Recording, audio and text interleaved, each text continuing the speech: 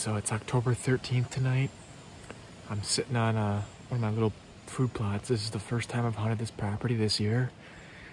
And it's only gonna be for the last hour of light. Um, I got here probably half hour, 45 minutes ago. Ran across one of these pick bean fields to check a camera down on the other end. Got completely soaked because it was raining.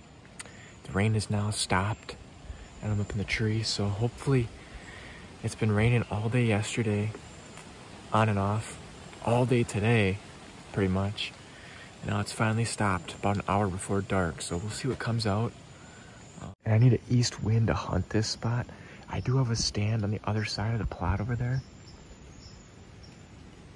You can kind of see the ratchet straps.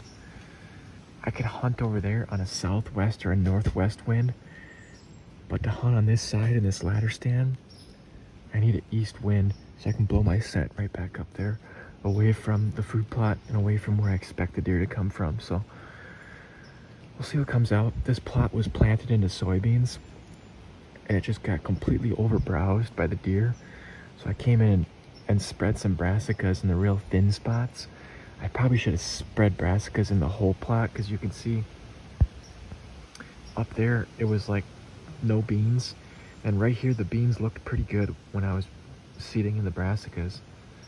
But the deer just just kept mowing them down all summer. I should have just seeded the whole plot in a brassica.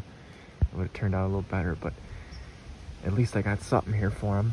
And then we'll burn off that brush pile this fall or next spring. So, yeah,